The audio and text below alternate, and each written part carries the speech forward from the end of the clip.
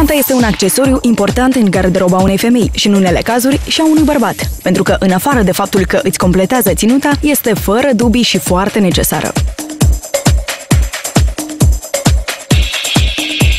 Doamne, domnișoare, ori bărbați, vedetele noastre ne-au dezvăluit toate secretele până la cele mai mici detalii despre ceea ce poartă de regulă în geantă. Conținutul e întotdeauna uimitor. Poartă telefonul mobil, poartă cartelile de credite, permisul uh, și multă cosmetică și bani.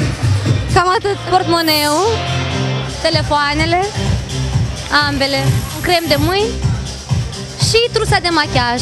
Elena Javelea nu poartă bani mulți la ea, pentru că de curând a fost jefuită, așa că și-a învățat lecția. Am uh, un parfum și pentru că niciodată nu mă satur de parfumuri, mai am unul. Mai știi, poate o să am nevoie.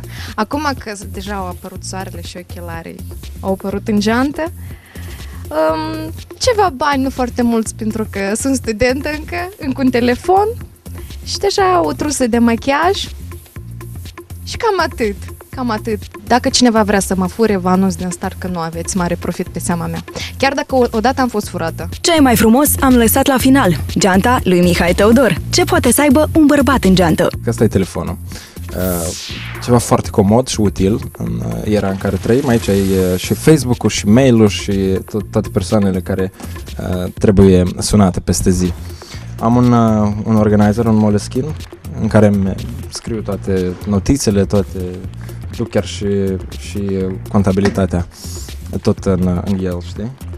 Nu că ar fi multă cifră acolo.